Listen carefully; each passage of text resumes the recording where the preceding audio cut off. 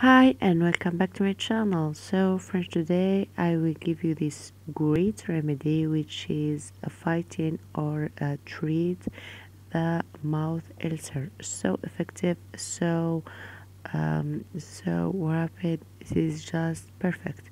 All what we need, we need the olive leaves. It's shown in front of you here.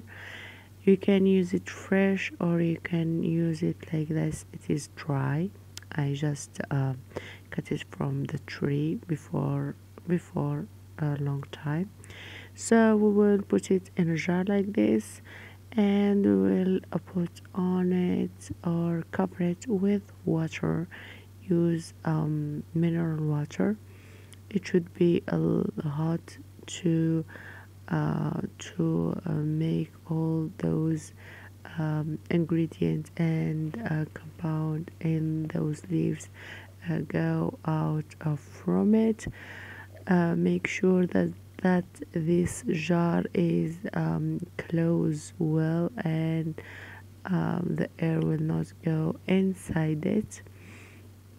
So we will uh, add the boiling water on it and cover it and uh, shut it uh, well to uh, the air shouldn't be uh, go inside like I said before.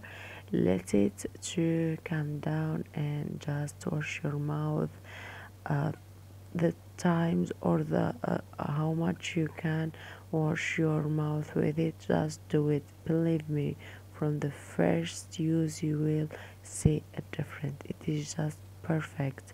And this is all for today don't forget to subscribe me give me thumbs up. If you have any question put it in comment you can put it in the fridge and use it for one week.